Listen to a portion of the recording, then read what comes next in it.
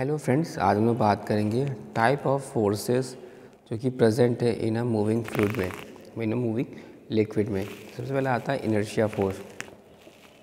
फिर आएगा viscous force gravity force surface tension force pressure force और elastic force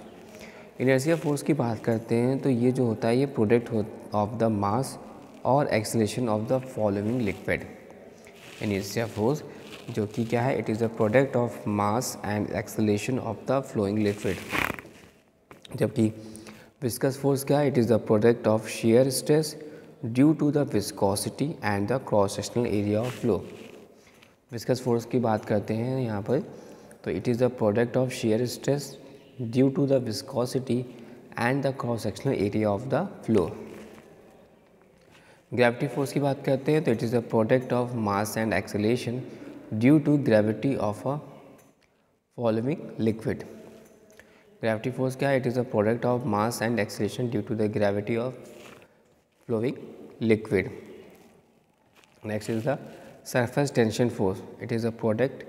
of surface tension per unit length and the length of the surface of a flowing liquid surface tension force क्या है? It is a product of surface tension per unit length and the length of the surface of the flowing liquid. Next one is the pressure force. It is the product of intensity of pressure and the area of the flowing liquid. Elastic force क्या है? It is the product of elastic stress and the area of the flowing liquid. तो यहाँ बात करते हैं inertia force की जिसमें कि हमने देखा कि ये जो है ये प्रोडक्ट है मास और acceleration of the flowing liquid का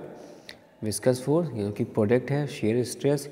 due to the viscosity और cross area of the flow फिर next is the gravity force